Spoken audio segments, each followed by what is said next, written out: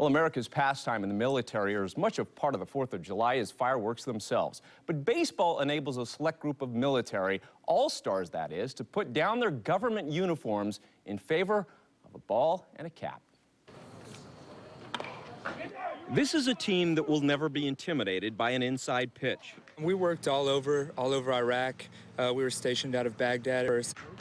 You're looking at one of 32 military all-star teams around the world you'll find all branches of the military on one team. So a Navy pitcher might be throwing to a Marine. We had a guy that uh, was in on pulling Saddam Hussein out of the hole uh, in a tank battalion, and uh, they got on a plane and they showed up in uh, Newport, and less than 24 hours later, we were playing one of the best college teams in America. Most of the players here are on what's called TSD, Temporary Assigned Duty. Baseball serves as a mental break from this, the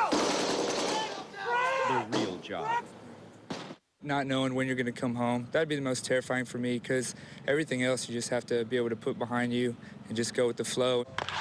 Everyone pays for their own uniform and travel expenses. The players who are on deployment are with them in spirit. You'll find a patch on all these uniforms as well. It speaks to their assignment or where they've been. This was actually a patch that uh, one of the Iraqi special forces, uh, I, I, cut it off his uh, uniforms. Really? Yeah.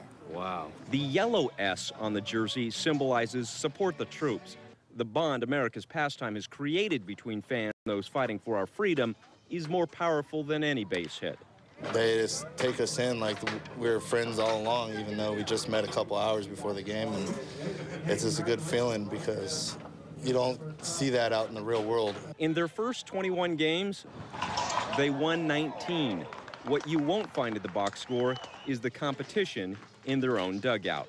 They drive our stats guy crazy. Our Coast Guard guy hits uh, two in the lineup, and he's all over the place. And uh, you know, basically, you know, anytime he goes in for a Navy guy, he's like, ah, Coast Guard's got to save the Navy. so there's a little bit of that going on, and that's a lot of fun. It's obvious they have more than just a few good men.